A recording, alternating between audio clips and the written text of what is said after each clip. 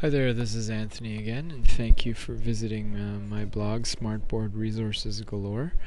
Um, this uh, is a quick tutorial about the gallery, and I'd like to show you what's available uh, in the gallery. So, whenever you open up your Smart Notebook uh, software, this is version 10, it doesn't really matter what version you use. On the left here you have something called a gallery. And as you can see, whenever I open up the gallery, I have four categories, pictures, interactive multimedia, notebook files, backgrounds, and themes. Today, I want you to focus on um, pictures and interactive media. And I want to impress upon you the value of having slides or presentations that are only one or two slides long. So, let's say, for example, you are a teacher that is doing something in science about um, changes of state. So I have something here in the gallery for you. And what I do is I click on this changes of state and I drag it into um, the main screen. And voila, I have a, an interactive activity for the students in my class to try and it's a great little tool. Um, I encourage you to try it. We'll just uh, show you a quick uh, intro.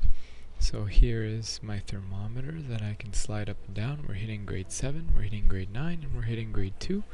Uh, all the curriculums here in Ontario. So watch what happens when I bring the temperature up higher and higher and higher. Look at the particles and take a look at the water. And here you're engaging all your learners, visual, tactile.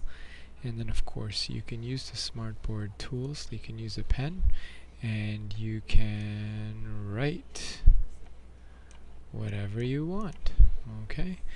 And uh, that's one example. And what I'll do is remove that the beauty of the uh, interactive, uh, uh, the software for Smartboard Interactive is that it's got so many interactive uh, webs, uh, not websites, but actually little tools that you can use um, for all your learners. And I encourage you to go in and try.